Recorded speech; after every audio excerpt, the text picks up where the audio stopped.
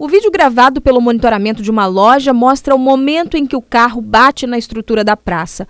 Em seguida, o condutor para o veículo ao lado, observa o carro e segue viagem. O acidente aconteceu um dia depois que a praça foi inaugurada. A gente vê o quanto é, a maldade é gerada no coração do homem praticar ato de vandalismo.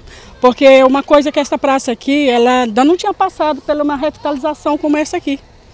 Sabe, ter um brinquedo para as crianças brincarem, aparelhos de, de academia para as pessoas praticarem academia. Isso aqui é dinheiro público, mas é dinheiro que sai do nosso bolso, dos nossos impostos que nós pagamos. Depois de muito tempo, os moradores contam que a praça voltou a ter esse movimento de crianças brincando, pessoas circulando por aqui.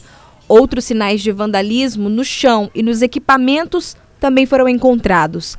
Não tem 40 e poucas horas que foi feita inaugurada essa quadra. Inaugurada essa quadra sexta-feira. Já de ontem, de ontem para ontem aconteceu uma coisa dessa. Será que uma pessoa dessa não tem juízo, não tem educação, que isso aqui serve para todo mundo, tanto para criança como para adulto, para mim mesmo que já sou velho, que estou com 63 anos. A Praça da Juventude fica aqui no bairro João de Deus e é a única aqui do entorno.